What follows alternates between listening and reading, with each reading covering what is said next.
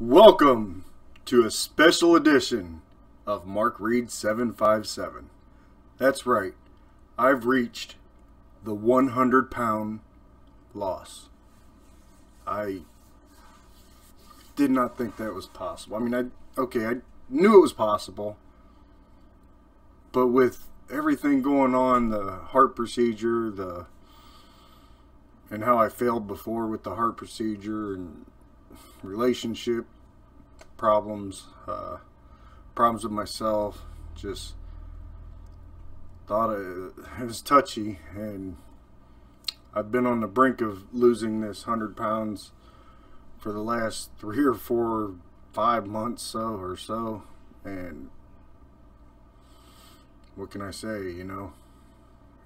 I did it now and the weather's starting to break a little more. I'm able to do a lot more and um, do what I love, disc golfing. I'll get to that in a bit. This has been a year, a little over a year in the making. Uh, actually longer than that because I've lost weight, gained weight, lost weight, gained weight, and I'm glad the direction that it's going now.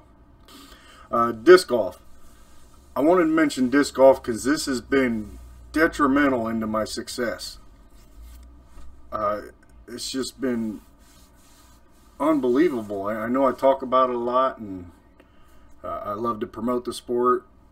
And the biggest thing about the sport is being able to get out and exercise and have it be exercise without you really thinking about it as exercise.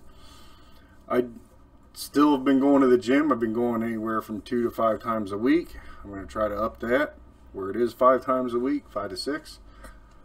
Uh, clean, eating clean. I've been doing a lot more eating clean. I have not been going to the fast food joints as often. I haven't really ate no pizza, no burgers, no none of that crap. Uh, I've also been pretty much staying off the intermittent fasting. I did go back to iced coffees, but they're my own homemade iced coffees that has very limited to no sugar at all. Uh, I believe they're a little more healthier. My heart's been real well.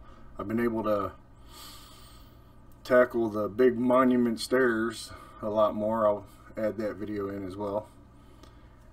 And the other thing that's been very instrumental in my success is these videos.